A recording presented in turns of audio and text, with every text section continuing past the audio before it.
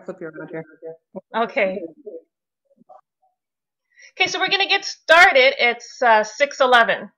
So I'll just do a quick intro here um, to any everybody who um, is new. My name is Andrea Stevens, and I am the co-founder of Mall of the Arts. And I'd like to welcome you to the Indigenous Beading Workshop, and we're super excited about this workshop. Um, but before we begin, I just wanted to go over some Zoom online and workshop elements just to make sure that you have the most enjoyable experience tonight.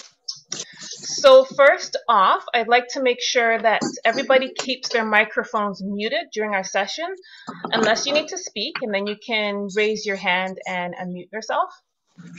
Um, we also encourage you to use the reaction button that's located at the bottom of your screen. And just occasionally check the chat box located at the right side of our screen here. And there will be communication and notes in the chat box there. Uh, also, please make sure, I sent a message out to everybody, but please make sure that you have some scissors and some glue for this session.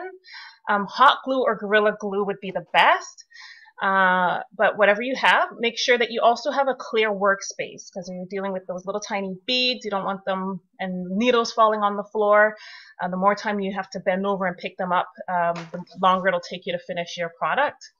Um, and for anyone that didn't receive their beading package on time, um, I think that uh, we've only got six people online right now, so I, I might repeat this later on, but just let us know in the chat box.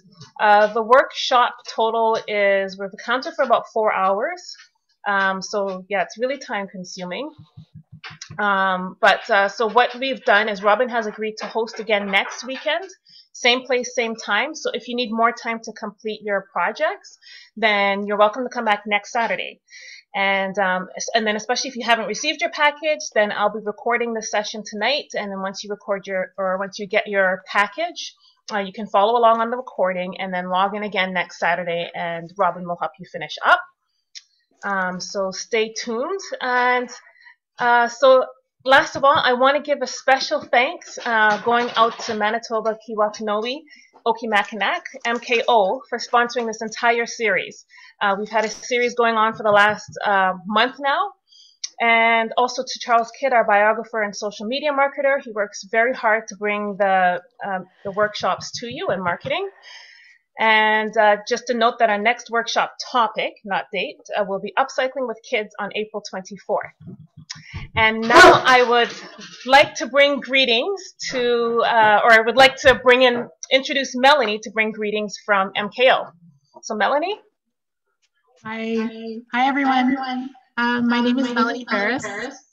And, and I work, I do communications, communications at Manitoba Keewatinowi Okimakanak. There's, that echo is gone now, thank you. Um, I just want to uh, bring greetings on behalf of Grand Chief Garrison Settee.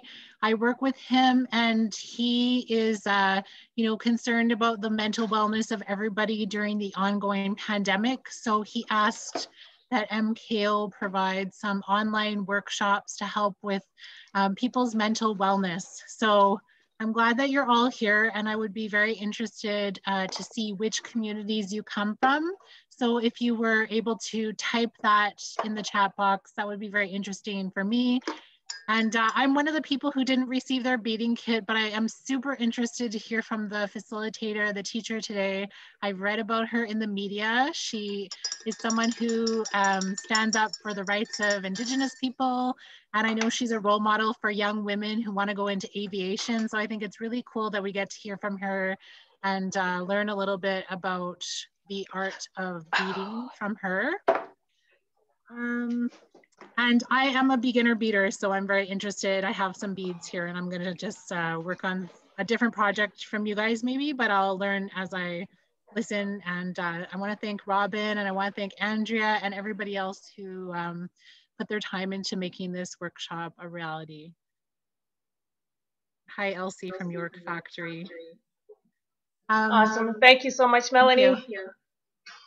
Great. Okay, so now we will introduce you to Robyn, who is our workshop teacher for tonight. Um, and uh, uh, Melanie's already given a great introduction to her background and history. She's super excited to be passing this on to uh, you folks here. So here is Robyn. Robyn? yes, we sorry, see you. Great. Just trying to zoom in here a little bit. All right, thank you guys so much for letting me host the workshop and especially to MKO for uh, sponsoring the event. I'm really excited about this. Uh, for those of you that don't know me, my name's uh, Robyn Shlachetka. I'm from Wabowden, uh, registered with uh, or Cross Lake First Nation. I've been living in Thompson for most of my adult life now, and I serve the North Flying Medevacs. So sorry, I didn't realize my hair was going to be this bad. But uh, um, I started doing bead work uh, when I was a teenager, and I took some time off from it. And then, actually, when my second daughter was born, um, I really wanted to custom a pair of custom mukluks with her name on them when she was six months old, like my granny had made for me. And I couldn't find anyone to make them. So I actually took the pair that I had, ripped them apart, put them back together, and figured out the pattern. So a lot of my stuff has been self-taught. So I'm really excited to teach other people how to um, do some beadwork and uh, there is an ulterior motive of this class because eventually we're looking at possibly doing some moccasin workshops or baby wraparound workshops. Um, anything that anyone might be interested in learning, I'm more than happy to help you any which way I can.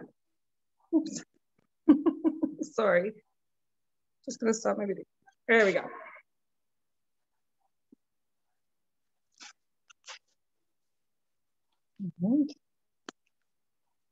Sorry, can you hear me, Andrea? Yeah, I can hear you, Robyn. Okay, She's just okay. switching the camera around everybody. She's got two yeah, cameras going here. I'm here. Flip this around. Okay. So we'll get right to it. So I'm really sorry for those of you who weren't able to get your packages. I had sent them out. Um, I was a little worried about postage, but none of them had been returned back to me. So if you're, we're going to record this session as well. And I'm really hoping that uh, if, if you're able to follow along with the video later, that's great. If not, I'm going to leave my, uh, my email addresses there with everyone. You're more than welcome to get in touch with me. I'll leave my phone number. We can FaceTime, whatever you need to help you out. So when I sent these out, um, I just have to set this up a little nicer here. If you're going to do some beading, the first thing you need is a good cup of tea just to start with. I'm pretty picky about that. We only do red rose or uh, blue ribbon in my place. Now, your package, you would have received all of these items, except in smaller quantities. So these are actually just plastic cabs, they're called. And you can order them from just about any beading website. A lot of my supplies comes from Dakota Beads. Um, it's on Facebook and I order them by the tubes or you can order them by the hanks. And these are the beads that you're, or sorry, the needles that you're gonna be using. This is John James short uh, beading embroidery. Anytime you're doing um, any kind of beadwork that involves sewing, you always want the short one. If it doesn't say short, they're gonna end up being double the length. Anytime you're doing beadwork um, like being an ornament or you just using beads, then you're going to want a longer one for that. So these are the other ones. These are in uh, Thompson as well. If you're in Thompson, they're at the Needle side. And these ones, the Arctic Trading Post was selling them. And then when they uh, sold out, I basically bought them out of all of their needles so that I wouldn't run out anytime soon. And these, one of the things is that I save you the trouble of having to glue this on. So I'm usually using either E6000 or Gorilla Glue. And all this is, is a stiffened piece of felt. So you'll notice it's a little bit thicker. It's not floppy the way normal felt is. And that's all it is, is a fabric. These is gonna, are going to be the backing of your earrings. And these actually come in sheets. And I grabbed these off Amazon. I believe it was about $20 for 30 sheets of these. And it's kind of a faux leather type of thing. And then these are what the cabs actually look like when you buy them. So when you get them, some of them are glass. These ones are really nice. I hope you do something good with that. They're all different shapes, sizes. And I couldn't find a pair of earrings, but this is basically your finished project with your keychain that you're going to be working on.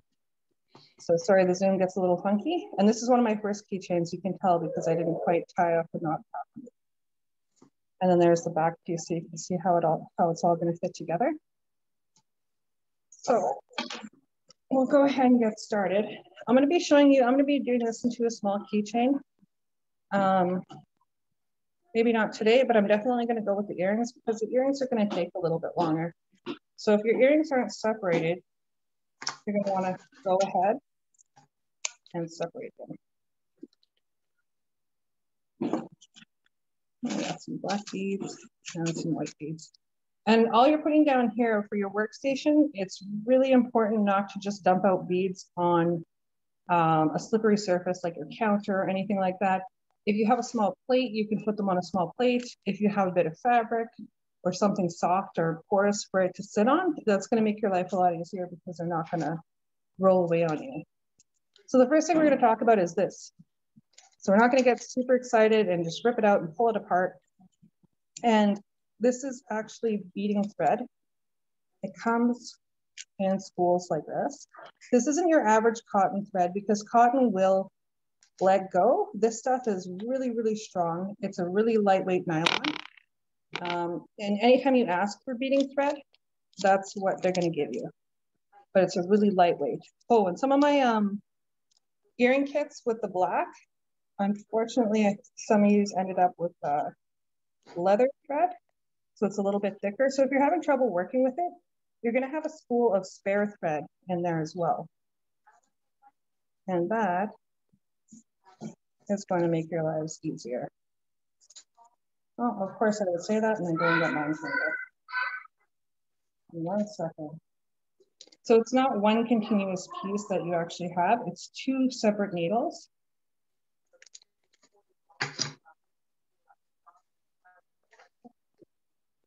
So there's one, and there's the second one. So just try to straighten them out a little bit because the string likes to twist. So I figured we didn't want to fight with um, waiting for everyone to thread their needles either. So I figured we'd start off without having to worry about that.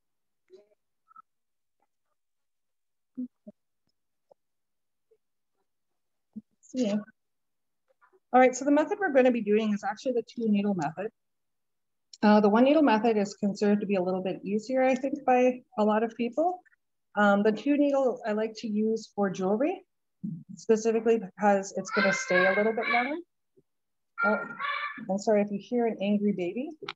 That's my uh, youngest there. She's a bit of a firecracker. So when we think about your pattern, the first thing I want you to look at is, see this is a solid black center, and then it's white and purple alternating all the way around, and then it's black, and then the edging is a different color. Now you, if you'd like to, you can just do one solid color around, the second separate color around, and the third one as well. And you have more than enough beads to be able to do it. It doesn't seem like there's much in these packages, but when you look at how few you actually need to go around here, it's quite a bit in. So mine, you can have this shape of earrings. There's all different kinds that I had sent out there. Or you can have keychains and they're a lot bigger than this one and they might be shaped a little bit differently. But I try to make them a little bit different for everyone. So we're gonna start by spilling some beads. And we're just gonna spill out the color that we want. All right, so for the two needle method, so I'm gonna go up as, as easy as I can here. You can start from wherever you want. And what you're going to do is bring the needle from the back, your thread is already knotted, and you're gonna have it right beside, and you're gonna pull it up and through just like that. Now, if you got a heart or, or a heart keychain or anything like that, you're gonna wanna start at this point. So you're gonna come up in the middle of that point and do exactly what we're doing here. So once you've come up, you're going to put on some beads. and you Not a specific number or amount.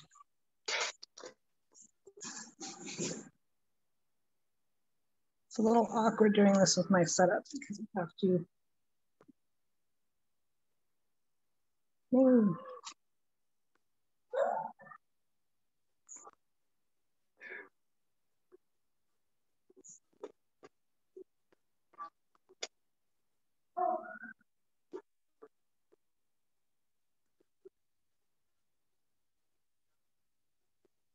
And we're just going to keep adding beads.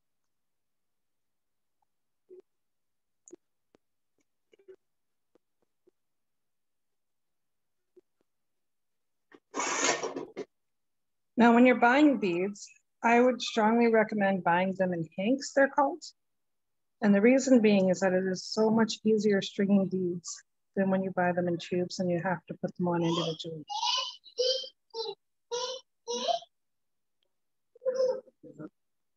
Oh, there's my baby doing her learn call.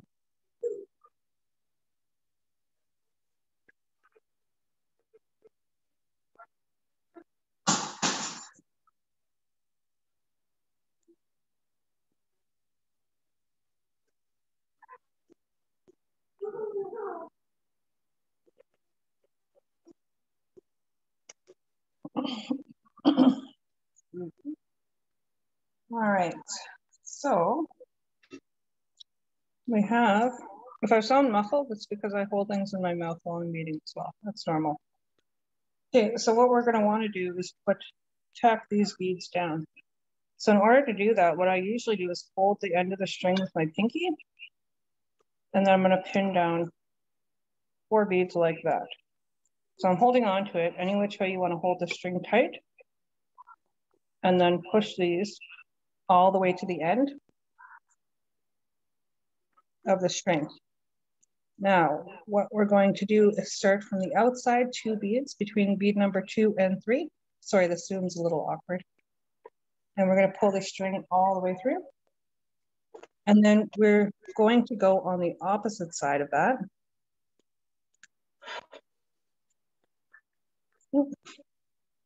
Now, when we pull this through, all we're doing is securing those two beads to our stiffened felt.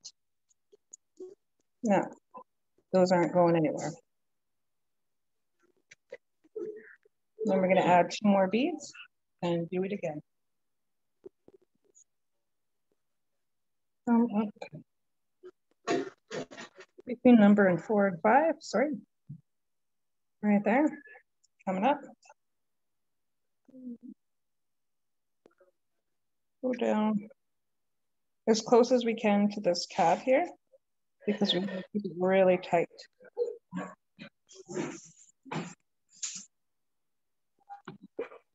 And when you pull it through, you just want to watch to make sure that it lays the beads where you want it to. So now with me holding this tight, you can see that these four beads are tacked down. Oh, sorry, that's my dog. They're not going anywhere. I'm sorry, with the zoom, it's hard to see. That's all we're doing. So again, I just wrap it around my finger to hold it tight. And then we're adding two more beads. So there should be four floating in there, and then you're mm-hmm. only using it so that you can go between the two. Come up.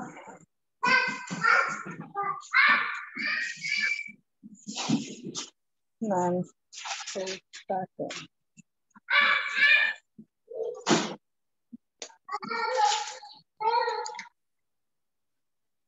And then the string is going to hold them tight. I'm getting better at doing this with the camera instead of looking at the actual beading project.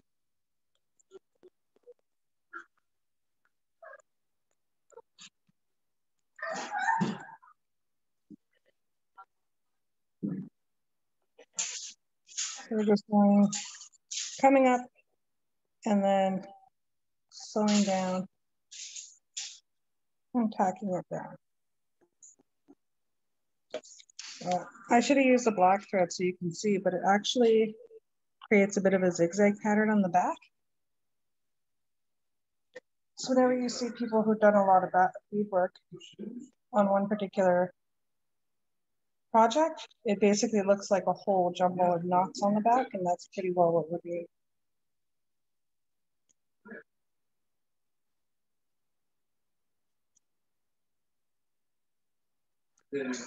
So I read about some uh, a beader on one of my sites too. She was saying that she was having issues with uh, and she ended up using a clothes pin to hold the beads tight for her.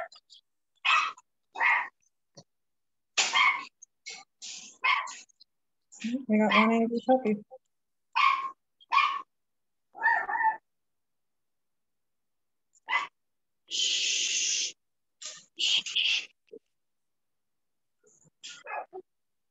Good girl.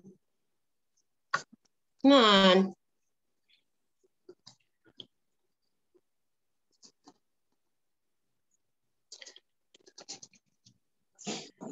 There it goes. It's all right. It's okay. Oh, yeah. We are using both needles. So this is where your first one was. Good it came the bottom at the beginning and it just stays there. So this is your beads, uh, your needle specifically for beads. So we're not having to sew with that. And then this one that we're using, the other one, is specifically just to tack down the beads. So we have this one, uh-oh. just don't pull too hard. Nylon's pretty forgiving. It's kind of like um, if anyone's ever gone fishing and you opened up your first pickerel rig and you pulled it out and you just tugged on it you got this huge knot. That's kind of what nylon thread is like. So if you get too tangled, you got spare thread there, just be delicate when you're pulling it out and pulling it apart, and you should be fine.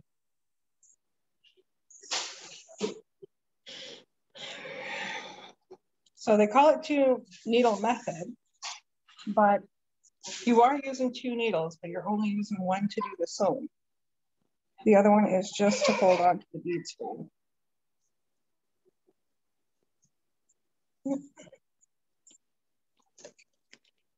Oh no.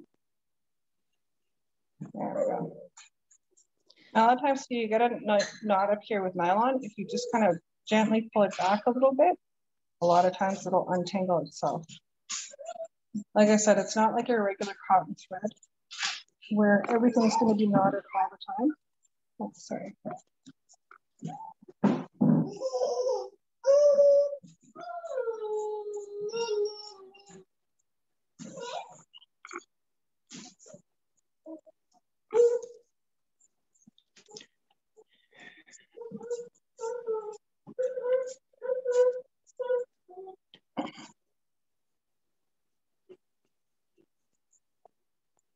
So I'm hoping I use the two needle method too, especially for my amps,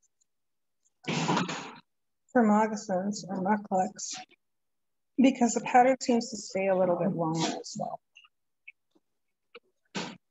And I want you guys to this is a basic beading project, but this is one of the really important fundamental skills of being able to. So if it's not looking 100%, do not be hard on yourself. I am self-taught and I've been doing this for over a decade. And uh, I still look at other people's work and think, man, I wish I could bead like they do.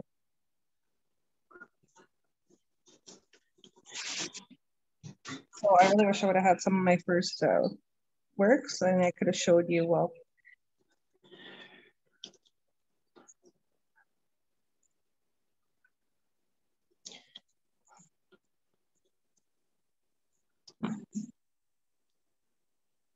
It's just a lot of hand stitching.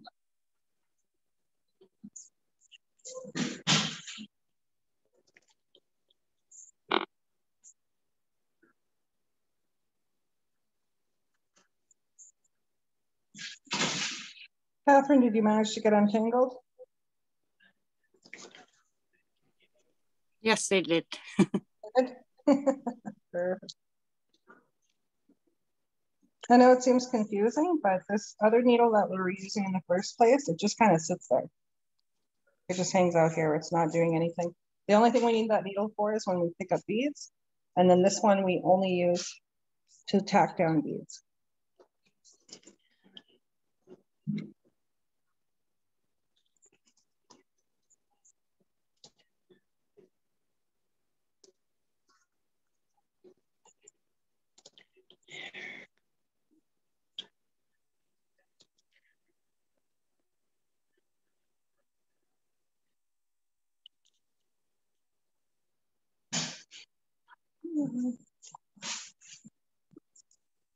So the beautiful thing about this too is Mother's Day is just around the corner.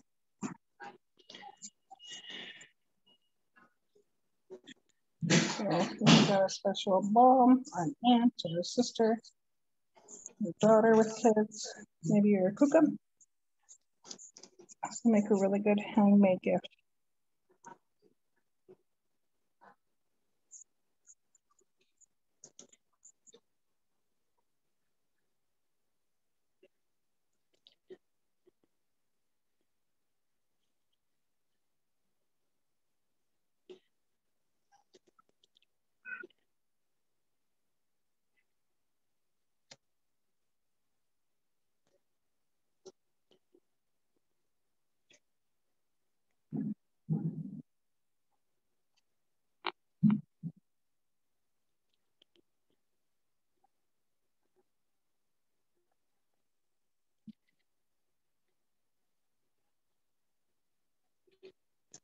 So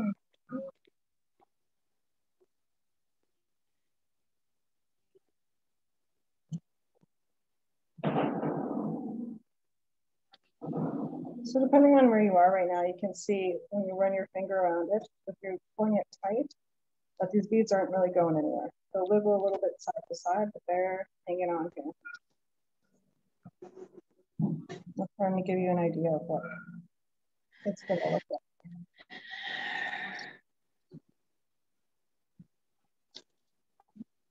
It's very meticulous work. It needs a little bit of patience.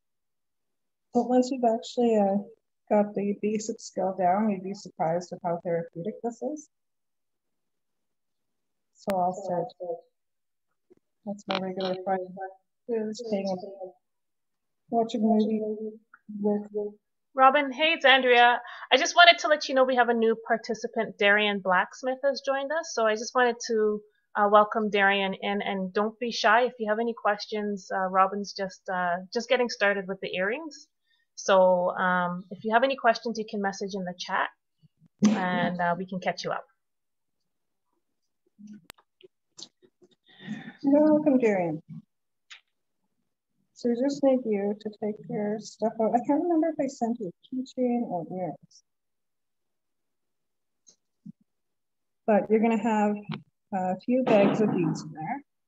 You're going to have either the keychain or the um, earring pieces. And then you're going to have a piece of fabric with a cab glued to it.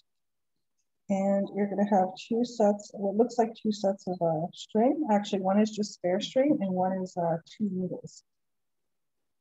So the first thing you're going to want to do is to get the two needles out of the plastic bag and uh, just make sure that they don't tangle up straighten them out a little bit if you need to.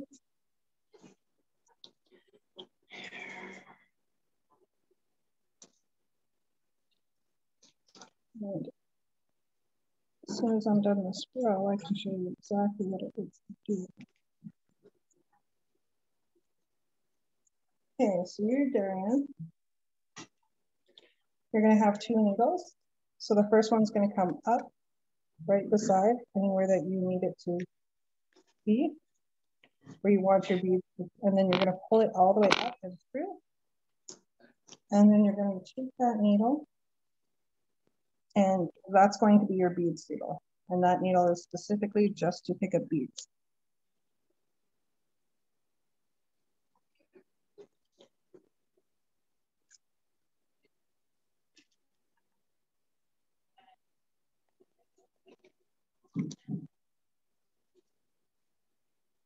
So, and also just a disclaimer, make sure, Darian, that you don't lay your beads on the table or anything where they can roll away all over the place. Or anywhere within your kids' reach if they're hanging around you.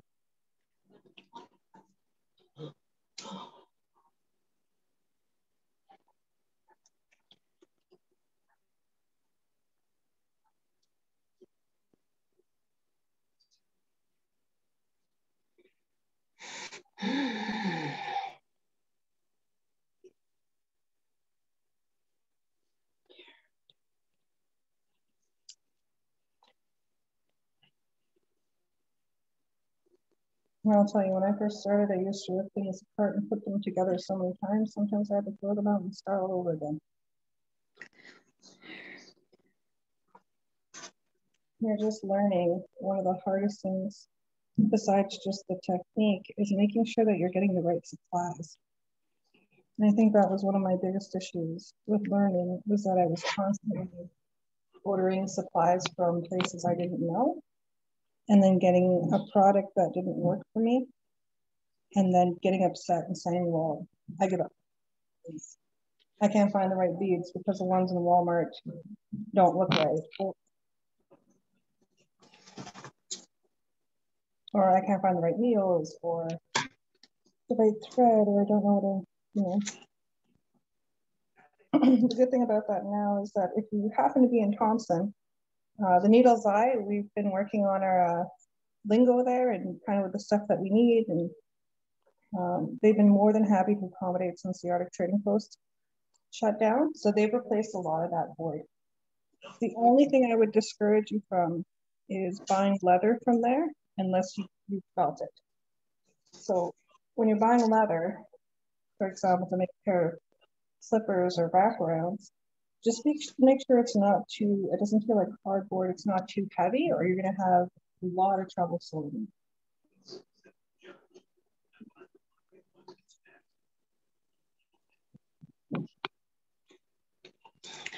So I've received bad leather, I've received bad lining, I've received bad thread. I went through all those expensive mistakes now, so if there's anything that you guys need, anything you're interested in trying, let me know and I'll lead you in the right direction. In Winnipeg, you have, um, sorry, just trying to think here, Winnipeg Outfitters, I believe. And there's Besies, which is uh, near the new gas station, uh, the Chitty gas station in by the airport there. Uh, there was another one I was at. A lot of them seem to be off of Main Street. That's also where my fur and leather suppliers from too, is right, right off of Main Street.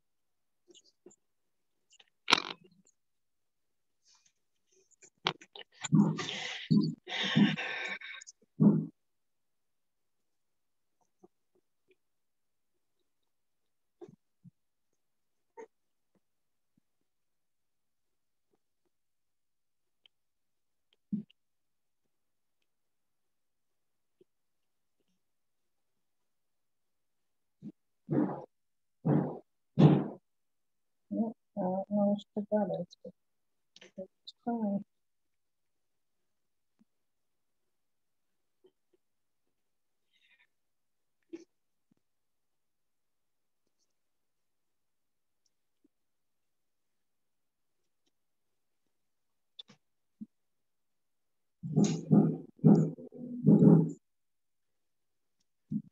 And we are almost done. Turn around strength. Now, do not feel obligated to do three or four or five rings around these earrings or that keychain. If you're happy with one or two, by all means.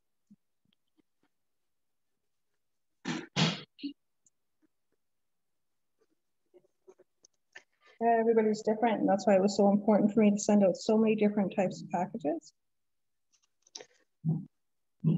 I sent out earrings like this, except there were turtles and, uh, and I think paws, I want to say. I sent out some that were like this, but they were glittery. I sent out some beautiful keychains.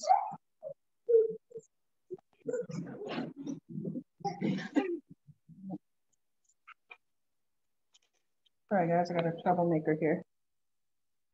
No, don't get, no, no, no, no.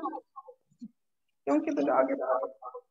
Robin's is looking beautiful. Is anybody brave enough to hold theirs up to the camera?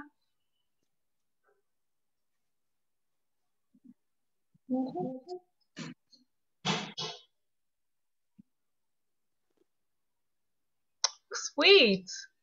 Oh, I love those colors. It's like a seashell. Can't see.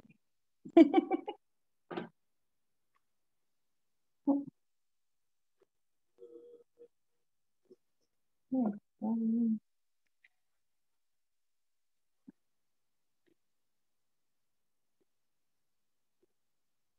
we try to make the kits very, very individual. And it was just basically picking some of the nicest stuff that I had, matching some colors. And I fought with those for a long time, those little kits to make sure that they seemed uh, just right.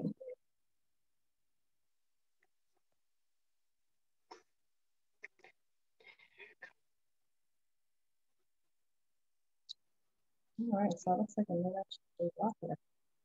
Yeah. Don't forget, just drop your beading, the one that's four beads, just drop it. You don't need it while you're doing this. You'll notice that if you're trying to hold two needles, you're gonna end up getting them tangled up. So what I like to do is just leave it hanging out there. And I just pick up this piece of string, hold it tight. And that's all I'm worried about. So that's kind of just going down here, dragging behind here. And then I have this one up closer to you guys. And that's what's keeping it from getting tangled up.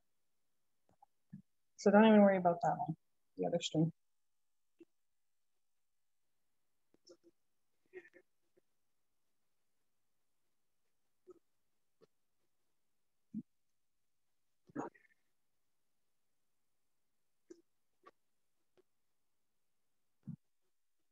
A little harder to see around these corners. Now, when you're doing the first one or two rings, depending on how many you're doing, it's okay if you go from the inside to the out or the outside to the in. That's not gonna matter. But when you're at the outside edge, you're gonna wanna switch it around and you're gonna wanna go from the inside out. And the reason I say that is because you're going to be trimming that edge off. And if you've gone a little bit further out than you meant to, um, it's going to get cut off and then your thread's going to be snipped. So it's a lot easier to tuck it in tight, closer into the beach here when you're doing it from inside out. But easier, if it's easier to go outside in while you're doing your first row, that's fine.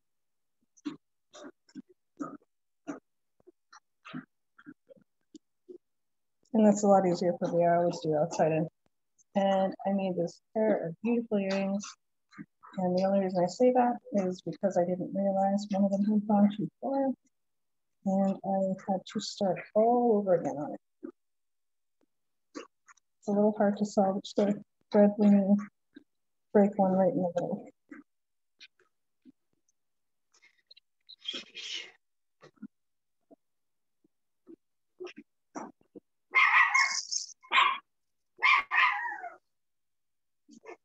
That's cool. He's not barking at you. Kicker. Kicker. Come on. Shh. Okay. There, there, there, there. So I'm There, putting there. one piece edge here. Okay. So what I'm going to do is I'm going to tack down Go one watch more out the piece. window. Go see.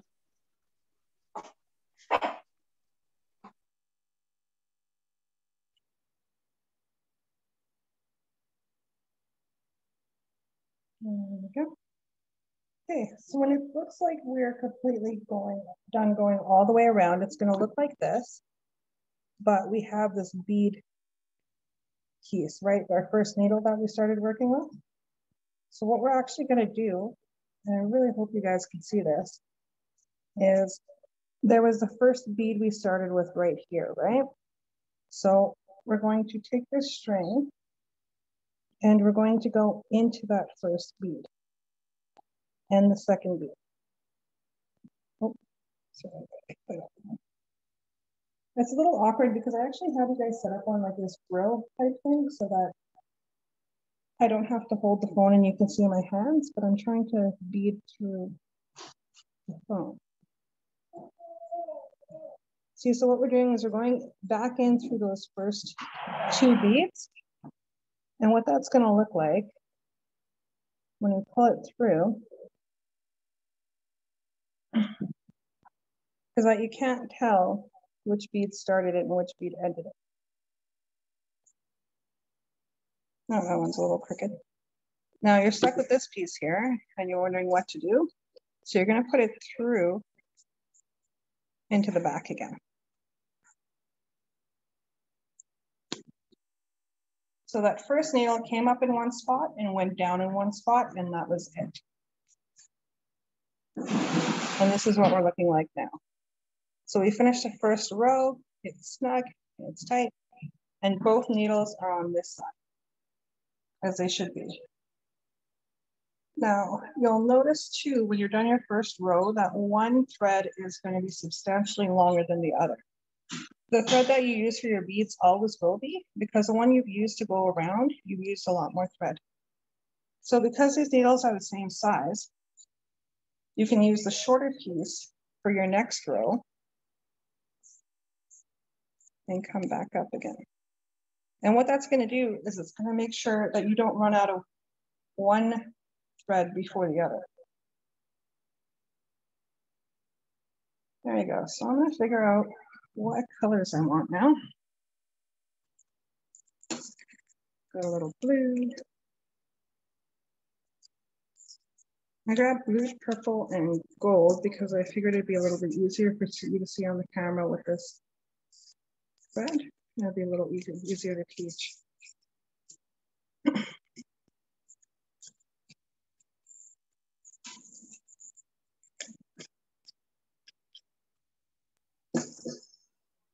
All right, what I'm going to do is use my white as the primary color.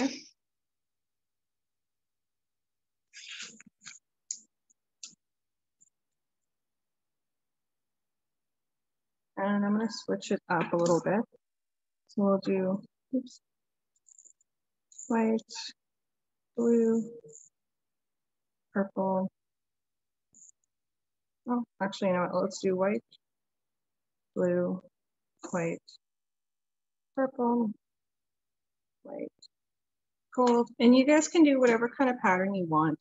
Um, there should be a minimum of four bead colors in each of these packages. And there's plenty of beads to go around for what you need it for. So um, I wouldn't say just use one color all the way around. No, you're not gonna have the beads to do that. Um, if you use the white or the black, depending on which package you got as your primary, then it's gonna make things a lot easier because you know you'll have enough beads to go around. But your pattern is, there's more than enough beads to figure out whichever pattern you would prefer.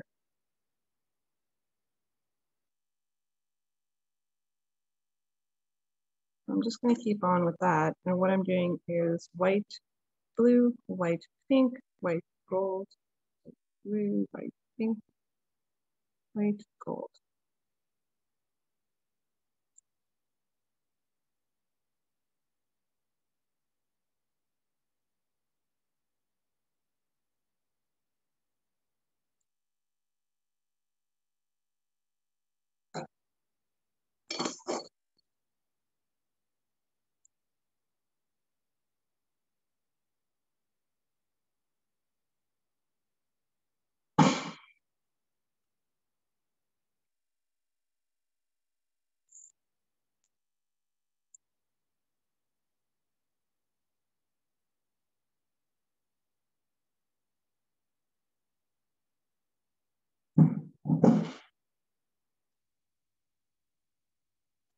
Oh no.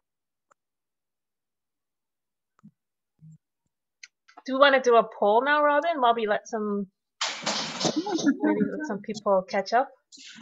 Yeah, sorry. Not very riveting, exciting. oh no, it's super cool. It's I feel, I feel like you're making it look easy because I'm not really one with good dexterity.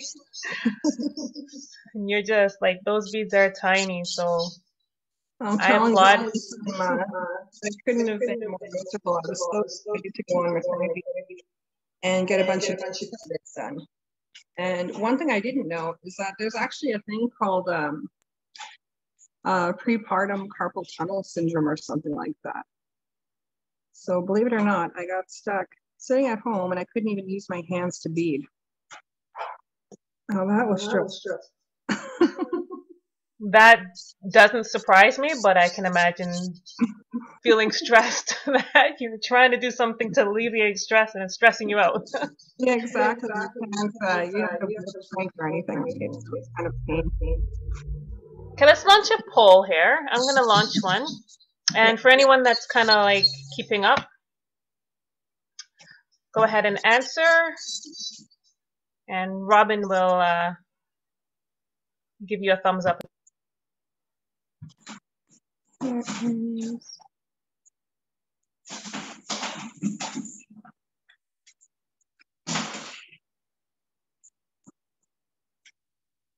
Oh. You. I think uh, you put the wrong. What are some materials the original indigenous beadwork? I think it was supposed to be we're not made of. I think we might have. Uh, No, no, it's trick questions. they can pick as many answers as they want. oh, that's what it is. Yeah. I got you. Let's see it here. There we go.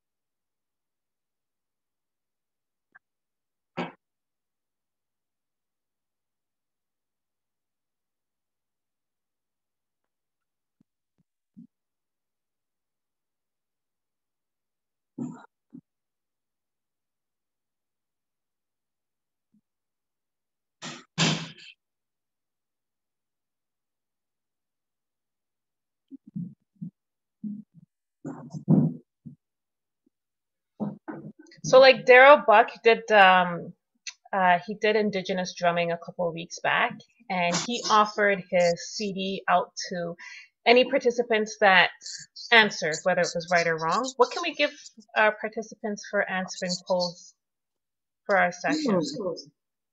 Like it's definitely send another. Yeah, maybe send like the opposite of whatever they have. Yeah, whatever they have. And we're trying to give it soon. Um, like I said, Mother's Day. So we'll probably have a meeting early. Okay, so look forward to an extra kit if you answer the polls for tonight's session. White, pink, white, gold. I know it seems very meticulous and uh, I'm with you on that.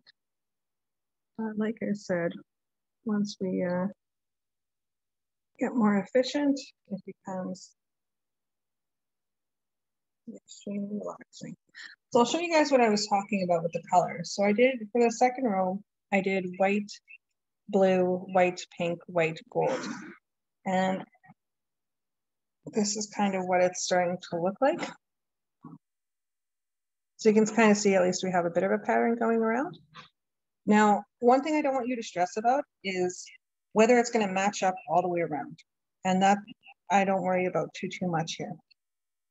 Just because. um, Just because it's not important. So I just ended the polling there, Robyn. Mhm. Um, I'm sharing the results, and then you got uh, you can uh, say what you think about the results. We got um, so we had 50%. What are some materials the original indigenous beadworks were made of? And the choices we had were shell, pears, bones, or stones. And we had 75% say stones, 75% say bones, and 50% said shells. Nobody said pears.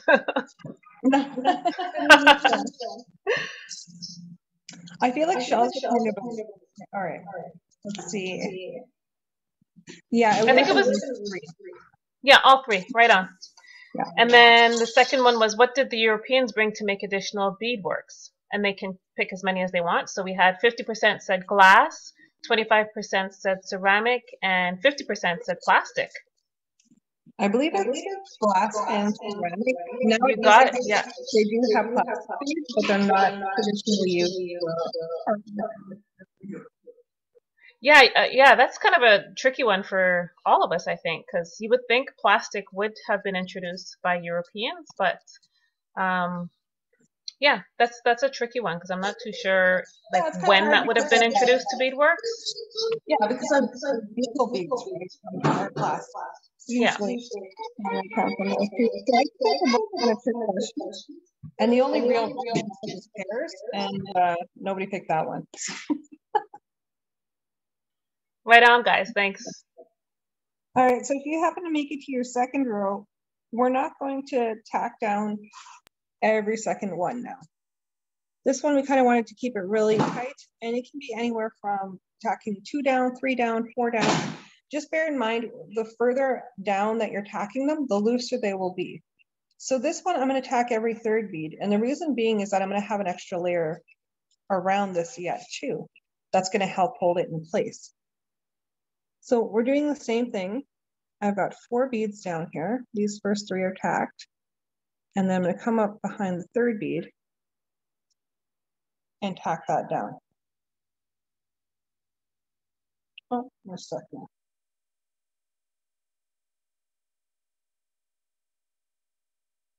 Oh, that's right, I'm using them, there's a teeny tiny knot in them. And that's the thing too, if these things get knotted and there's a tiny little knot here, um, if you just pull, they'll just come through because what you're sewing on is just a stiffened felt. So it's not very um, sturdy and it's a really strong thread. Which is a pain because you keep forgetting about it.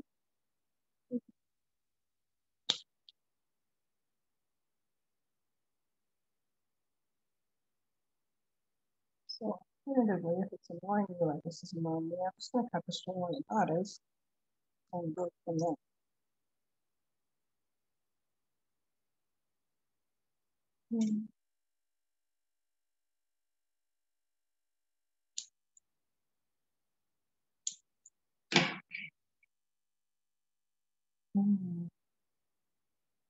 And the ones that I don't really understand, I can understand, I know we had participants from Moose Lake, um,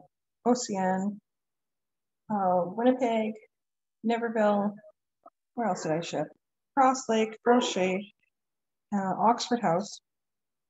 Now, the ones that don't make sense to me if they didn't arrive are anywhere in, in northern Manitoba because the mail actually goes out every day.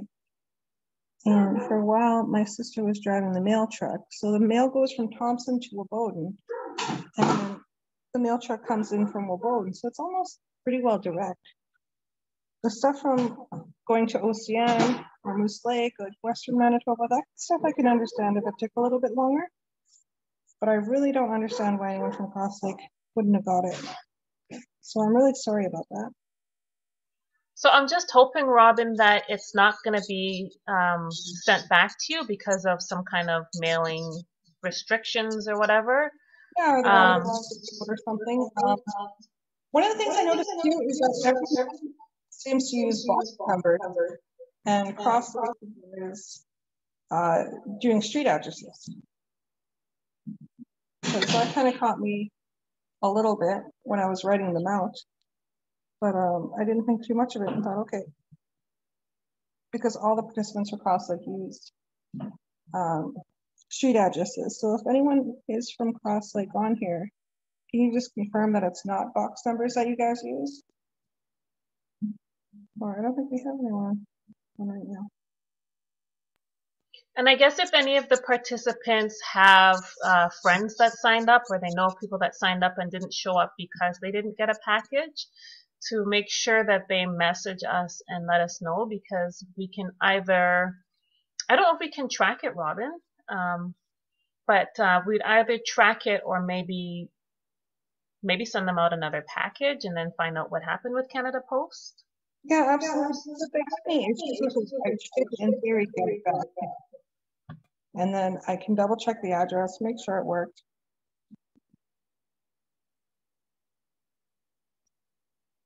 Uh.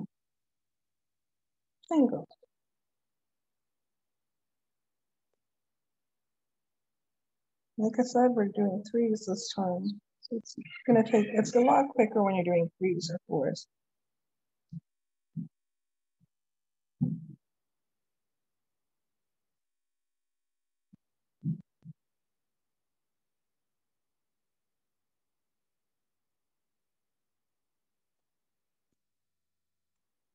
So these kits, I can actually show you um, what happens when you get a little bit addicted to doing art, if you wanted to. Just gonna take a quick break here. These are my extremely disorganized sewing boxes. And they're full of goodies. I got rope, plastic bags. There's a lot of cabs sitting here that are already pre-glued. And then this is my beading box. So these are literally just jumbles and jumbles and jumbles of beads. And the problem with buying beads is that you say, okay, I have red beads, right? So here's some red beads. But then you're like, no, no, no, no, these are red beads. These ones are a bit darker, but I like these beads. Okay, but but wait, wait, wait. Do you have the shimmery red beads though? So next thing you know, you've ordered literally hundreds of different colors. And however, Robyn, where do you get your beads from? Can we get them from dollar stores or where do you get those from? I would never buy beads from uh, dollar stores. Uh, the reason being is that they're not true to size. So these ones that you have, these are usually seven to eight dollars per vial or seven to eight dollars per hank, depending on uh, where you're getting them from. And that's another thing I forgot to mention is that uh, some of them are size 10s and some of them are size 11s. So you'll notice if you happen to have some size 11 beads in your kit, I don't know if you can see this, but see the blue is a size 11 and the 10 or the white's a size 10. Um, whenever you're doing beading, I use a size 10 or 11. However, when you um, become very skilled or you really want to do a really detailed project, you can even do a size 13 bead, but this needle won't work for you.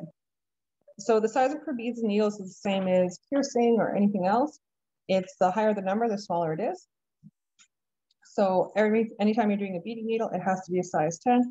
You're gonna have to get something a bit smaller to run a size 13 bead through. And a size 13 bead is substantially smaller than these.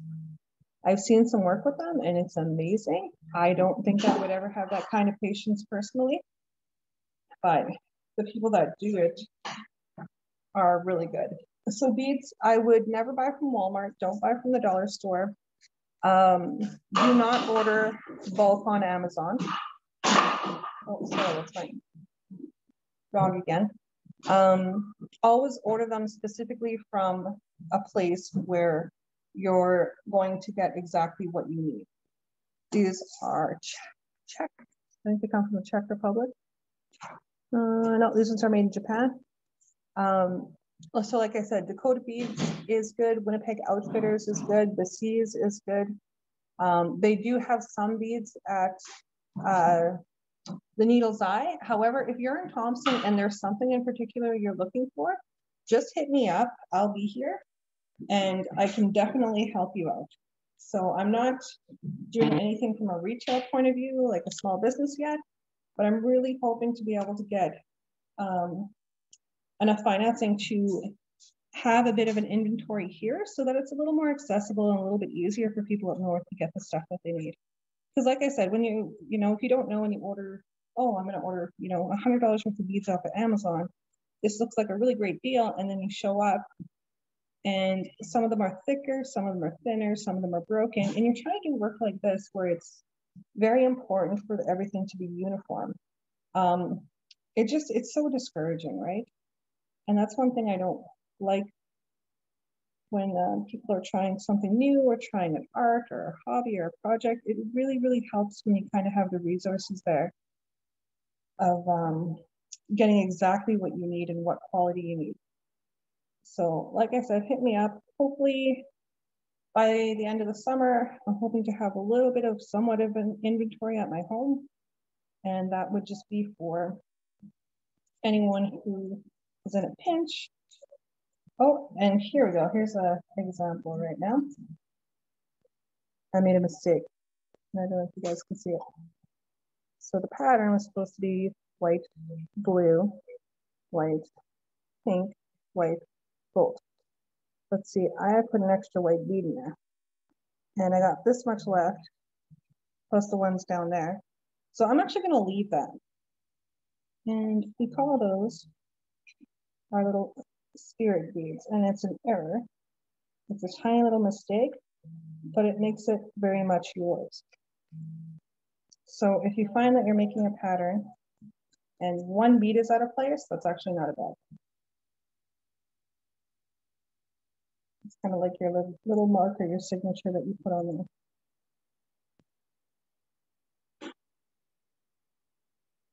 So it's kind of funny to talk about the feeding suppliers. I was actually going to open up a trading post here after the Arctic trading post shut down, but with COVID, it was an absolute nightmare even thinking about opening a small business. And so, Robyn, what I was thinking when you're saying that is um, our participants should know that you have a profile on our website already.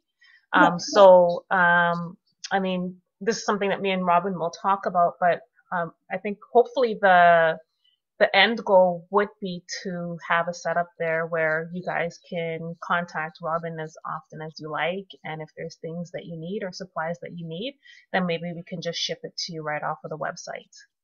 Oh, that'd be amazing. Yeah. Yeah, like I have a huge inventory of stuff already. Um, like my beads don't look like much, but if they were actually sorted and put apart, you'd be pretty impressed with me. Um, my furs, I have if you need any animal native to Manitoba, there's a really good chance I have it. If you need leather and you're in a pinch, if you need leather thread, if you need, you know, just little things for personal projects, um, I have that right now. And then once, like Andrew was saying, then we work on a retail level, then it'll just be available online. It'll be a lot easier to deal with. And when I ship something, it's 100% going to be what it is. There'll be no guessing if the beads are the right kind or the right size, or if the leather, if the leather's going to be good for slippers or not. It's definitely going to be good. I'm picky about that. I go in person all the time. I go to Bill Ward. I drive the manager absolutely insane. He's happy with me now because I spend a lot of money there too.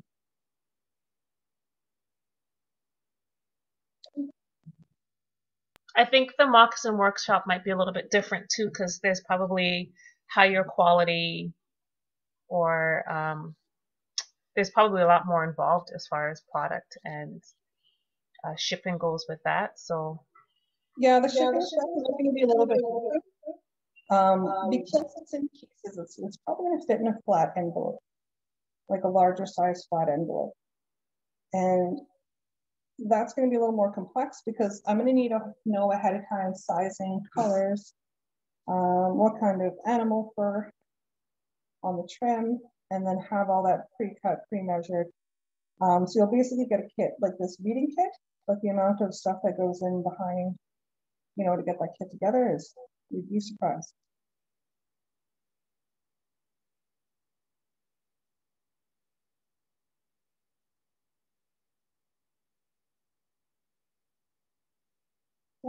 So I keep pulling my uh, arm So I'm trying to see it through the grills of my thing. This was the only way that I could get this stone set up so you could see my hands closed is by putting it on a grill on hips.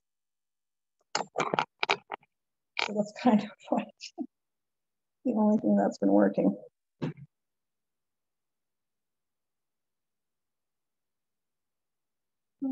Maybe white.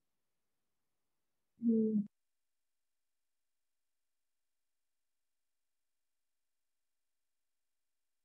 Mm.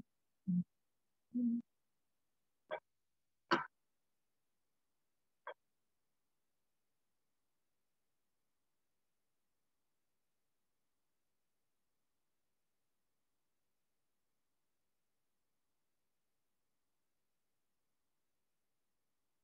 Close.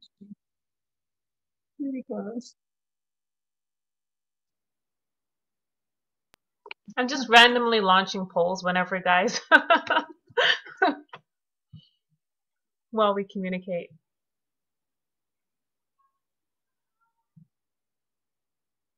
I know we should have had some beating music. There's this um, guy that I follow online on Facebook, and he does the large beaded medallions, and he uses the one needle method, and it's a way, way faster than this much faster than this. And all he does is kind of play some music in the background and you see his hands and you watch him bead. And he has hundreds and hundreds of followers of women who just uh, sit there and watch him bead, whatever he's beading. Maybe you're just, uh, maybe you're thinking of a collaboration here, Robyn. because we have uh, Daryl who wants to do another workshop in the hand drum. Yeah. And yeah. he was thinking, he was trying to collaborate with me, like how we can come up with different ideas for participants to get involved with. Uh, I mean, I don't, I don't know how you would drum and beat at the same time, or maybe you have, you know, maybe you have, maybe you have some beating and some singing, you know, and we collaborate that way. But I don't know. There's just, there's some inspiration for some ideas here. Oh yeah. Yeah, so this kid has his lives, and uh, turns out he's not even from Canada. He has the thickest American accent I think I've ever heard. And we have lots of cousins down in the US, it turns out. Okay, so we, I am at my second row here, the end of it. See, stuff like this happens where that thread gets a little bit loose. So we're just to like pull it down and hold it there. So at the end, this is what it's looking like right now. And I need to get this in here. I'm kind of wishing I would have used a black thread so you can see a little bit more contrast. I'm sorry about that. We done all the lighting and stuff yesterday, and it seemed fine. But then now I'm kind of looking at it through the camera as I'm getting it done, and it's a little harder to see any contrast between the white and the white. A full blue. And that's row mm-hmm. two.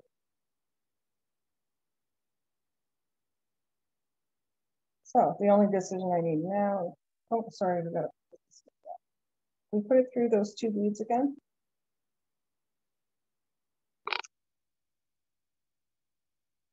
It's on top right now. So we're going to put it between a couple beads anywhere. And we're to go down. So we're done a second row. And that's what it's looking like. So like I said, this one's going to be a little bit looser because we're only sewing every third bead. So don't expect it to be fully tight. And that's only because I'm planning on putting one more loop around. So I'm just gonna mute you here for a second. I'm gonna take a quick break. I just gotta run out and I'll be back in a couple minutes. I'll leave the video on.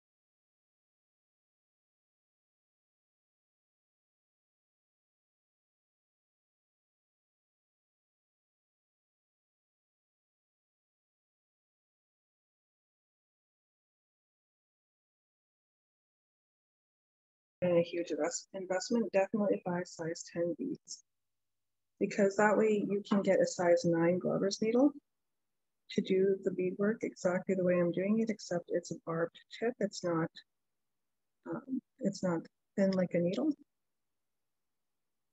And it goes through leather a lot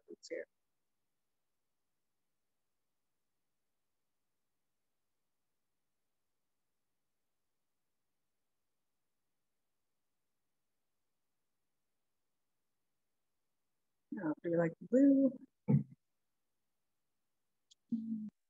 It's kind of indifferent. You can go a little.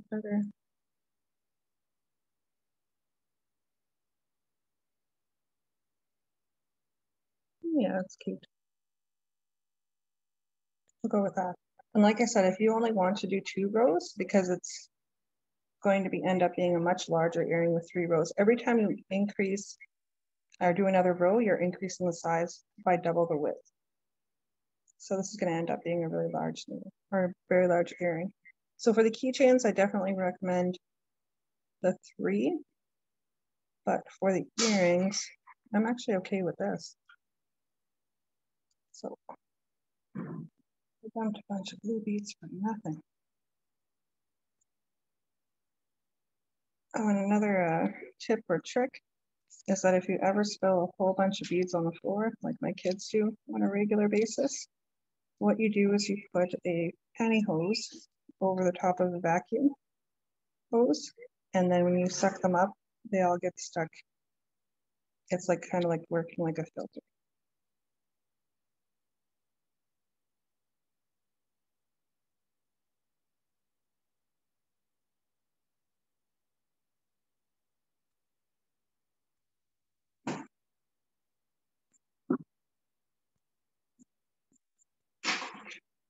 Yeah, so I'm okay with these. So I'm actually just going to pull this thread back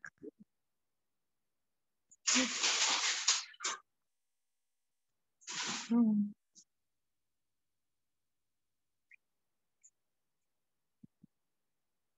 Find it. There it is.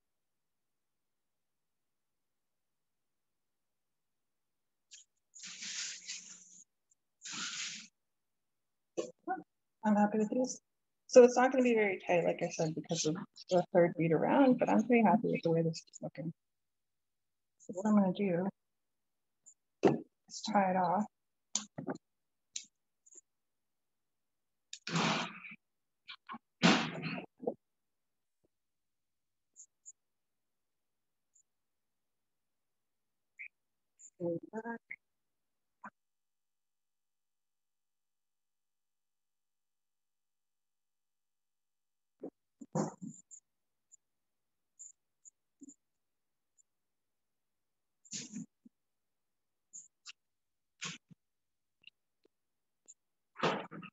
And for next weekend too, I'm actually going to bead the keychain. So the people with the keychains can kind of understand um, how to assemble theirs. It's going to be a little bit different than the earrings. You also notice too, with the earrings ones, the back piece was cut the same size as what this was. But with the keychains, there's a little bit extra, and there's actually a good reason for that. And that's that this little leather strap piece that's going to loop through your keychain is made out of this. So it's the same stuff. I just used two different colors for this one, but they're exactly the same material and that's how it's going to hold it together.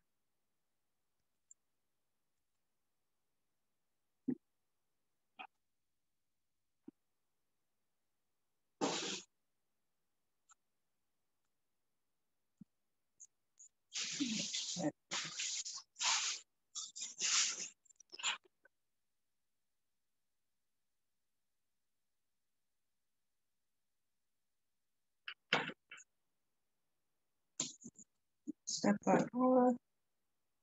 And this one is ready to be trimmed.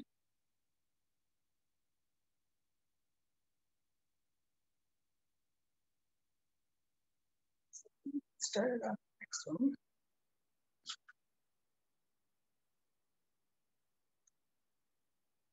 Yeah, gotcha.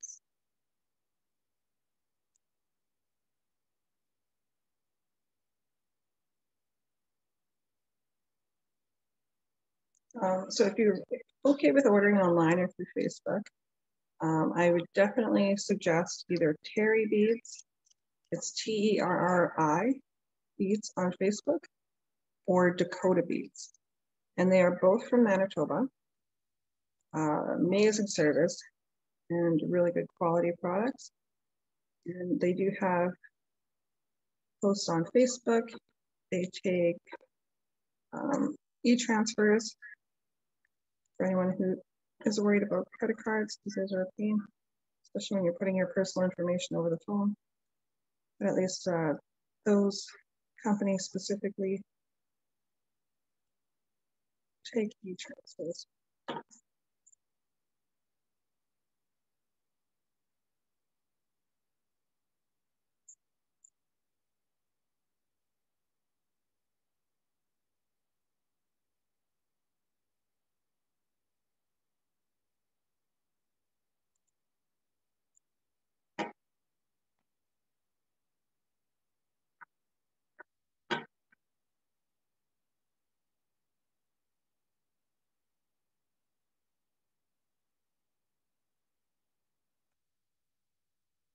Yeah, think that's good. Use the radio with NCI when you need it. Worried I'm putting some of you to sleep. I could always tell you some flying war stories if you wanted. Horrible weather, dark planes, all kind of craziness going on out there. And it's kind of funny, Andrea figured uh, because I was flying that I would recognize all the postal codes. But the only issue with that is that when we're flying, we don't use postal codes. We use airport identifiers. So I was a little confused when she first said that, but then it made sense afterwards.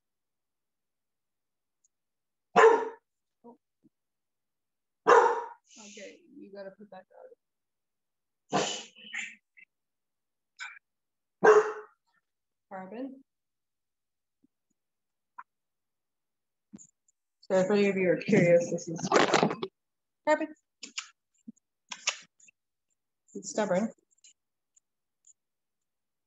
There he is. What is he, three months old? Four months old. Four months old, next week. And he's a king corso. And a royal king with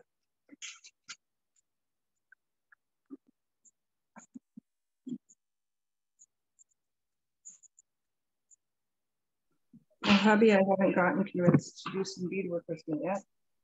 But if I'm lucky, and he's in the mood, he actually does some of the sewing for my liners for me because they're all done by, um, they're all, all my sewing's done by hand. He looks pretty cute in his house robe sitting on the couch sewing uh, moccasin liners for me. Really?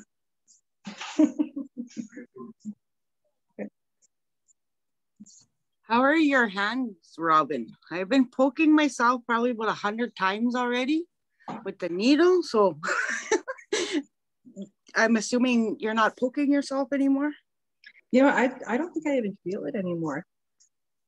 Uh, this is kind of my off season right now. Um, so my fingertips, I don't see them, but they're actually a little calloused.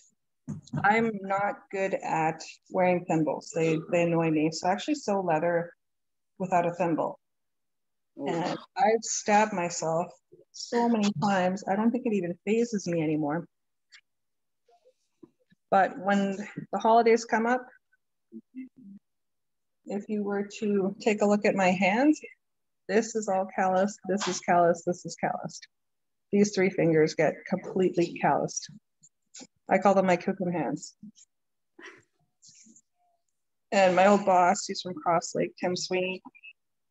I was telling him about that because I said, I'll never have a nice pedicure or soft hands or anything. And he said, You don't want that kind of stuff anyway. My mom told me that there's nothing better than a working woman who works hard with her hands. So don't feel bad about them.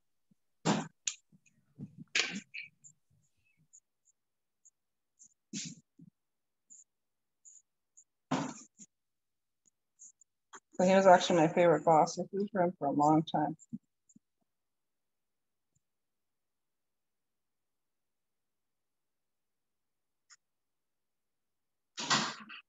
All right, so if you need to rethread your needle, now it, it looks like a big old mess.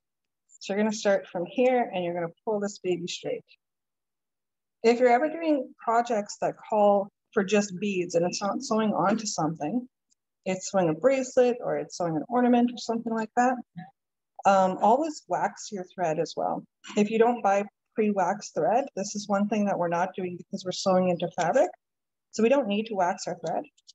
But if you're ever trying to get a, a free floating beading project to work and it's just not holding it, like even lighter cases or anything like those, those patterns that you've seen with the peyote stitch, um, get a candle made of beeswax and you're gonna do the same thing with your thread. You're gonna straighten it out, but you're gonna hold that wax here and run it along the edge of it.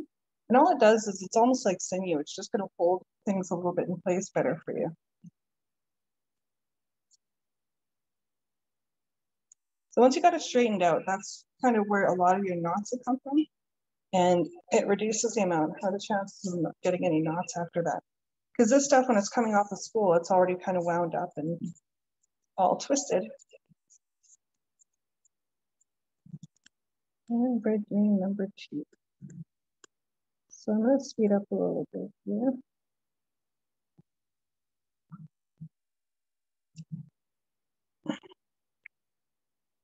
I mean, I know it's a little different and it kind of sounds gross, but yeah, I just wet my finger and use it to stick the beads to. Feel like that's a lot faster.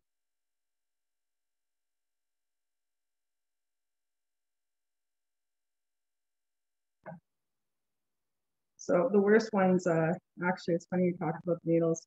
The worst ones I've done is from uh, sewing leather, where I didn't realize how thick it was. So I've had needles up back this way, where it wasn't even the stabbing myself part, it was the blunt end that went in and went all the way up through half my nail because I was pushing too hard on it. So at some point, something's got to give, and if it's not the leather, unfortunately, it's going to be your fingers. So it sounds disgusting, but probably the first 20 pairs of moccasins I made, a um, little bit of blood on them somewhere. On the inside, they'll never know. But when you say your blood, sweat, and tears goes into learning how to make this stuff, you really need it. And that's actually kind of where I revamped doing this too, or restarted uh, beadwork and moccasins and wraparounds was because when I was working for Tim Sweeney, I flew the court party and part of that is basically flying somewhere, sitting for eight hours, and then flying home. And not all the airports at the time had Wi-Fi or reliable Wi-Fi, and um, there's not much to do for eight hours. I'm not organized enough to download movies. I don't really like sitting watching movies anyway. So I found that I had a beading bag, and it was just um, about three or four projects that I would take with me. And whatever I felt like doing that day, I would take them, you know, land, have some breakfast, put the plane to bed. Um, sometimes take a nap if I felt like it, get up and do some beadwork, check on the plane again, especially in winter. And then do some more beadwork, and then usually they showed up by then. So if you're trying to kill time, you're bored, this was the perfect project, and it's small enough to fit in a small bag to come with me wherever I was going except some places. Norway House and Cross Lake, I'd usually end up going out and wandering around. So that's where a lot of my family is.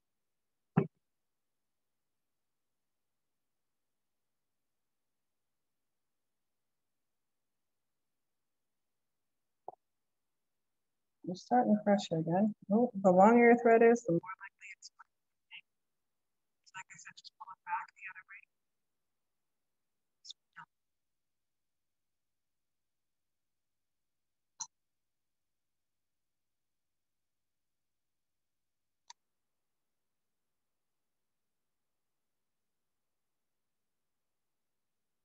And if you're finding you're getting knotted a lot, um, just make sure you can cut off much fat, make it a little shorter, and that's going make your life more easier if you're not having pieces of things like that.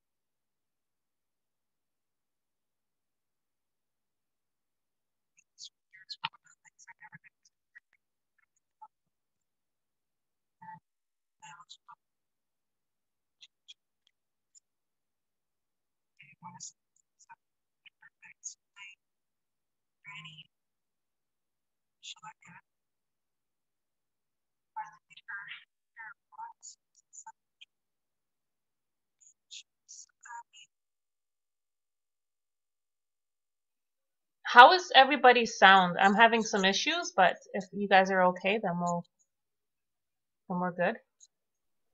Uh, the sound not too great. I can't really hear. Can you talk again, Darian? Uh, the sound's not too great. I can't really hear Robyn.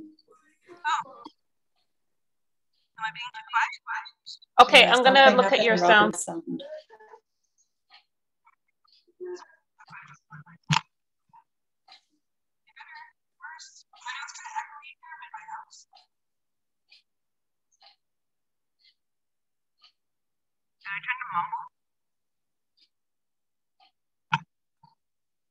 If you don't see needle, it's probably in my mouth, and that's why I'm mumbling.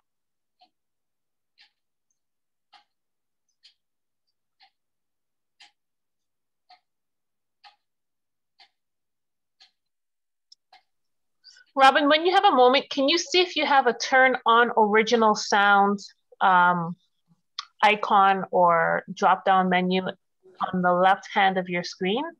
And if it's blue, can you turn it to gray?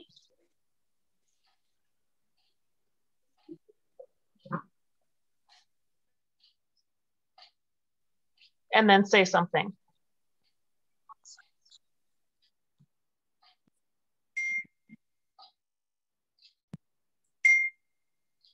There we go. So doing anything? Okay, right now it's good. Okay. So Yeah, that's number- good. Speak loud. Awesome. and- How about you, Darian? Is that better? Yeah, that's better. Okay, thank you. I already caught my finger right there the wrong way.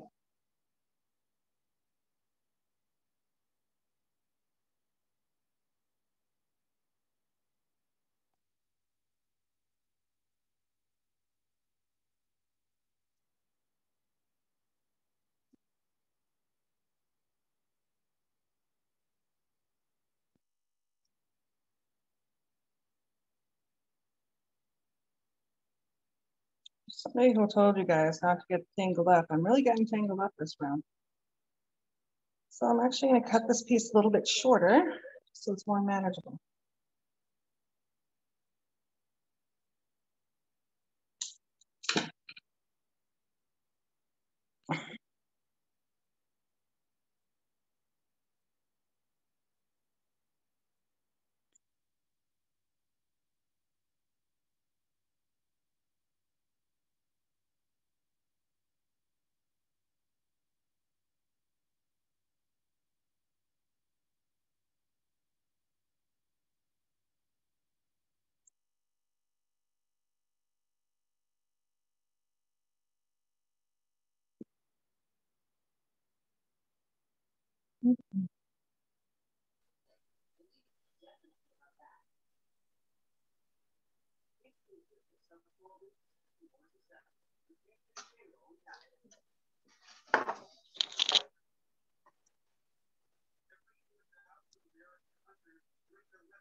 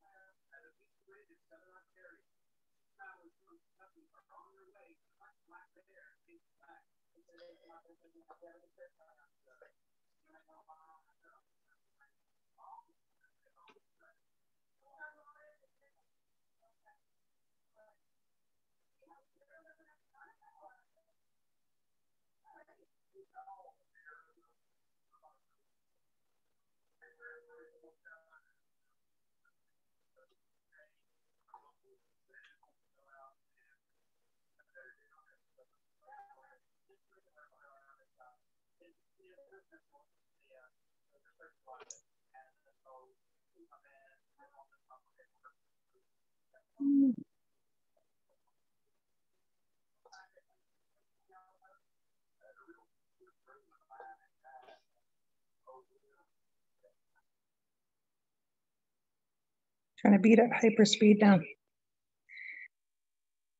Let's see if I can get to this. So I think we are actually, Andrea, we're gonna do the, the tacking down part today. And then we'll finish them up next week. And there's not much to be done after this, actually. There's a little more beading to do, but it's more just attaching it to the back piece and adding the, um, sorry, the earrings, and then we're good to go. So I know this is meticulous, but the end result, you're gonna be really happy. That sounds good, Robyn. Even if it's for an hour or whatnot, just to um, give people the week to kind of catch up, like those that. Um, yeah. So for example, this edging, this is all beads, right? And it's more meticulous, um, but it's a lot easier. But I think we're going to do a, a different style. It's called a picot edge, and it takes up a lot less beads um, but it's a lot quicker to do as well because we have to edge these all the way around. So we'll do the picot edging. And then we will attach everything together.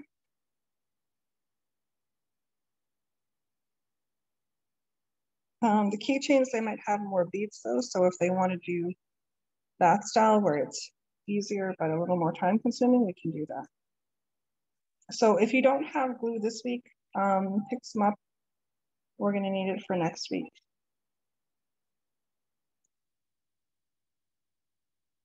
And like I said, it's only 6,000 or Gorilla Glue or even hot glue, a hot glue gun. Um, anything that's gonna secure it a little bit. If you don't have any next week, that's fine. It's just that it um, holds tight together a little bit nicer when you use glue to glue the two pieces together.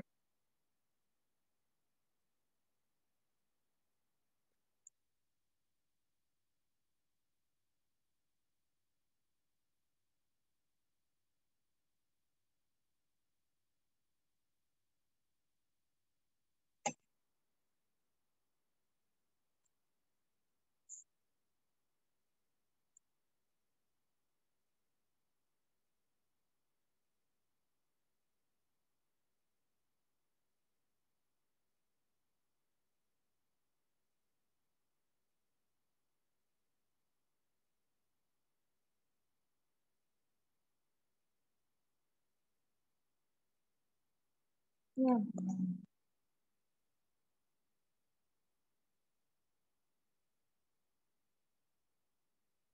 So see, when you get more efficient, you tend to move a little quicker. Um, and that's one of the advantages too, having the shorter thread, is that you're going to be able to sew a little bit faster because you're not getting tangled as much. But the issue is that you're going to have to tie it off more.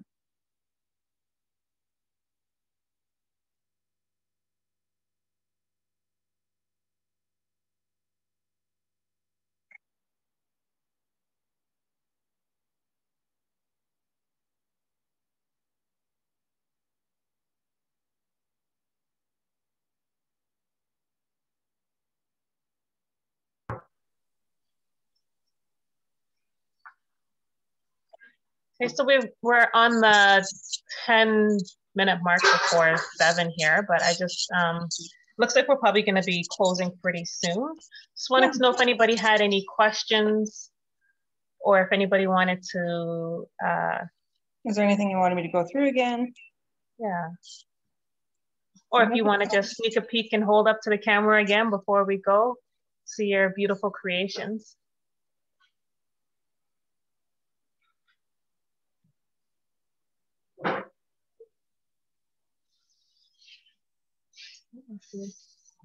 Oh, I see Marilyn's. How's it looking? Awesome, guys. Perfect. Yeah, I didn't get to try it, but I'm pretty sure you're way further than I would have. Holy smokes, Darian. Darian joined in late and she's caught right up. Oh, wow. Perfect. You know, and I'm really like happy you guys jumped on and signed up and wanted to become, you know, a part of this because um, one of the things my dad always told me is that the things that you know, your knowledge, your skills, anything that you have, um, it'd be completely selfish if you if you, you don't share them to, with the world, right? And that's kind of one of the reasons why I don't always just do, you know, sell or mass produce and sell baby wraparounds. I have wraparound courses, um, and I want to do more courses. Is just to educate more people to do things um, themselves and kind of um, inspire more people to become artists because I didn't think I was doing anything exceptional or anything different um, until I was called an artist at a craft show. And I was sitting there thinking, I've never been called an artist before in my life. That's crazy, but you don't even realize it. But yeah, if you are spending the time to do stuff like this, you absolutely are an artist. And I really want to thank you guys for being a part of this course. And it starts one project at a time. And like I said, if anything else that anyone's interested in, I will absolutely point you in the right direction to get those supplies, get what you need. And we're going to be talking about these uh, moccasin courses later. This is exactly the beading that you're going to be doing on them. The only difference is that you'll be doing a lot less of it. So we won't have a plastic cab. We won't be beading all the way around. We'll be doing a really small um, piece and that's it.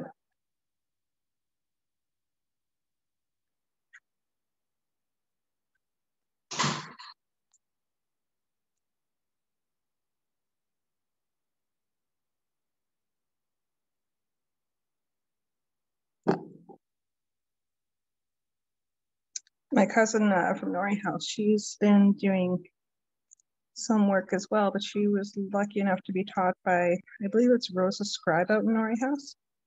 Incredible artist.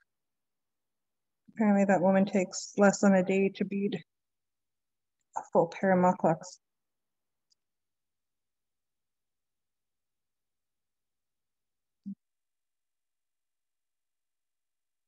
So I'm just going to finish this row and then we'll close off for tonight.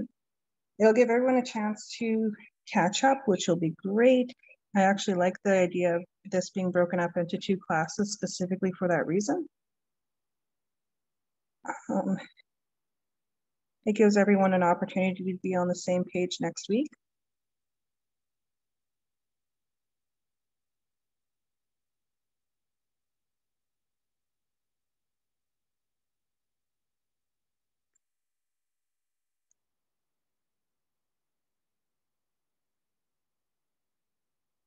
I mean, it's been two hours and even I'm not done all four lines.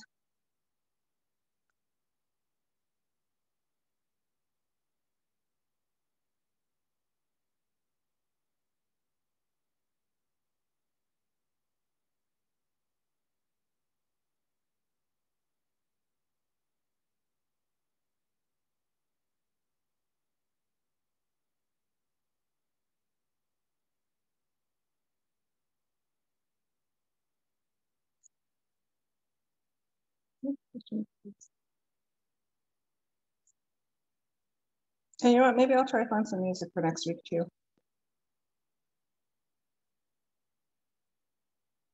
We'll just have to say a disclaimer like I do not own the rights to any of this music playing.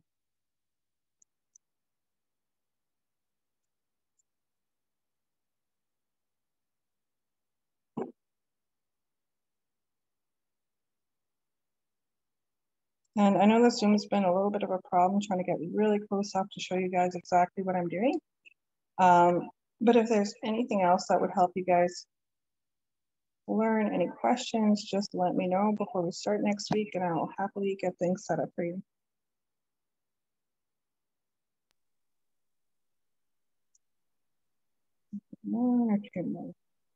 Hi, Robyn. It's Melanie from MKO chiming in. Um, I'm wondering if you could take like a couple pictures of your work and then maybe I could put them up in the Facebook group if anybody would like to see them there. Yeah, absolutely. Thank you. Yeah, my favorite was uh, 2019. I had um, a very premature baby and she spent 99 days in NICU in Winnipeg. And when we were discharged, I actually made 15 keychains for the first 15 nurses that took care of her during the first 72 hours she was critical. And turned out beautifully, and they're all a little bit different. And they kind of show the different styles and patterns that you can use. So I'll be happy to post photos of those. I gotta find them. Um, did you want to see some mukluk work or moccasin work as well? Sure. I was also thinking like pictures of what you've been working on tonight would be good. Okay, absolutely. Yeah, I'm gonna get this one done up too. Oh, I didn't need to end that. I'm going to. Don't do this. You gotta finish the second row. I just, I need to pack this up and I don't want it to get tangled. Um, and then if you wanted to see as well, Okay. I've had to work two phones because um, only one will show me a screen and then the other one shows me the chat.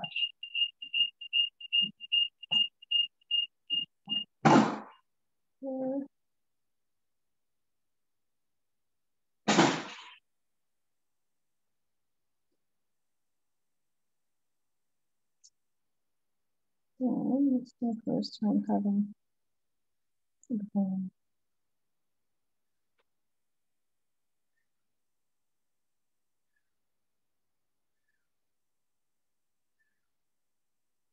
we go. Okay, so it's not visible to the public, but it should be.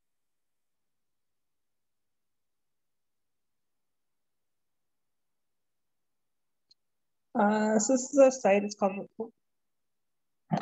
here. Robyn's Beauty and Free Creations. And these are just photos and stuff uh, that we've done in the past as well. We will take pictures of stuff that we've done. Photos. These are really popular this year. Those were a newborn set. And you can't really see that well, but it's beaded all the way around the edges as well.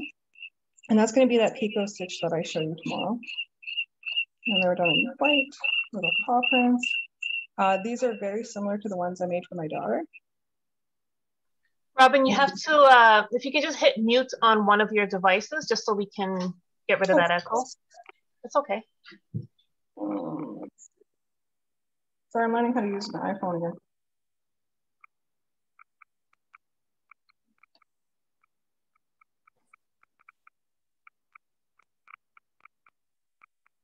There we go.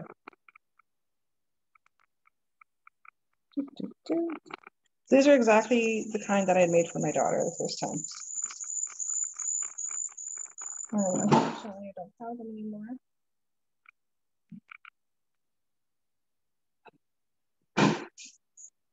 But yeah, that's kind of an idea of some of the work that I've been doing, kind of some of the work from the workshops as well.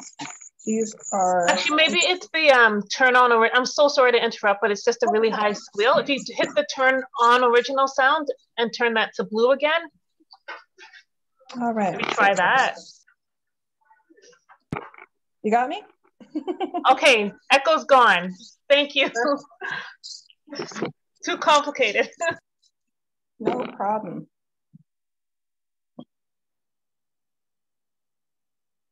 Okay, so we're gonna wrap that up for tonight. So that's two hours worth of work. I know it's a lot, um, especially the keychain people. Like I said, you might wanna do one more row.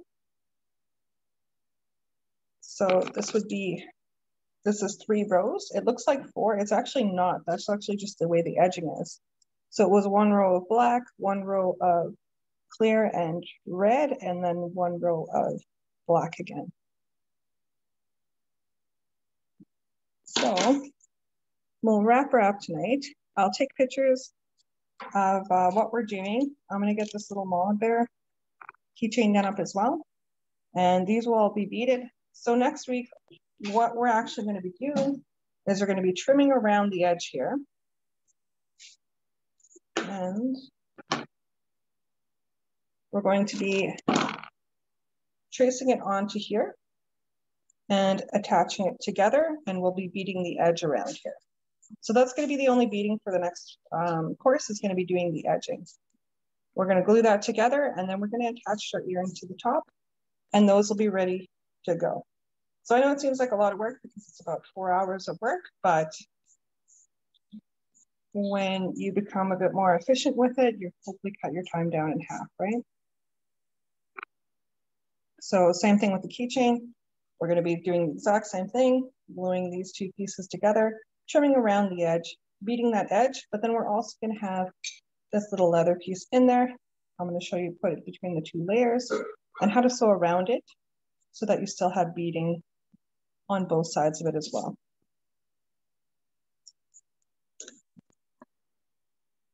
So I'm good to wrap up here, Andrea.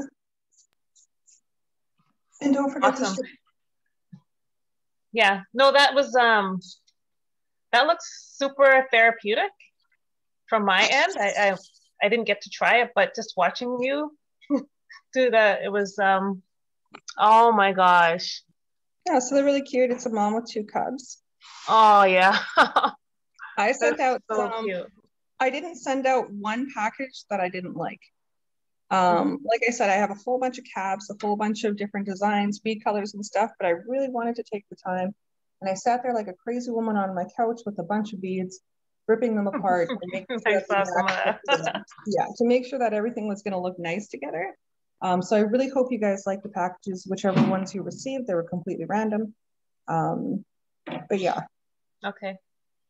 Okay, well, I appreciate that. I will, I'm going to try and contact some of the people that um, have not showed up tonight and just make sure that they, um, that they know that their packages are on the way and that there is a recording for this. And if anybody, if any of you ladies here know of anybody that is in that position, if you can let them know as well. Um, and then, yeah, just message um, either admin or artist at mallofthearts.com if you have any other questions or need to get a hold of Robyn or uh, whatever the situation while you're working on your beading this week. And yeah, I want to thank you very much, Robyn, for stepping in and taking this uh, workshop and then also offering your time again next week. So I very much appreciate that. Um, so we can get as many people to catch up on this because this looks amazing. And you're right, Mother's Day is coming up. So um, excellent gift ideas there. And yeah, so if anyone has any questions, um, we're going to close off now, but just message us and we'll stay in contact throughout the week. And it will be same time again next Saturday at six o'clock. Same link. I'll leave the link open. Uh, if, if I need to change it, I'll let you know, but same link. Okay. All right. Thank you, Miigwech Kosi. Hopefully I'm saying that right. Night, everybody. Thank you.